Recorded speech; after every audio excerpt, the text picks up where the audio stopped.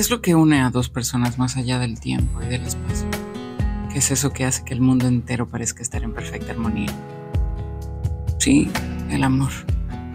Ese sentimiento que nos conecta de una manera única. Y ahora...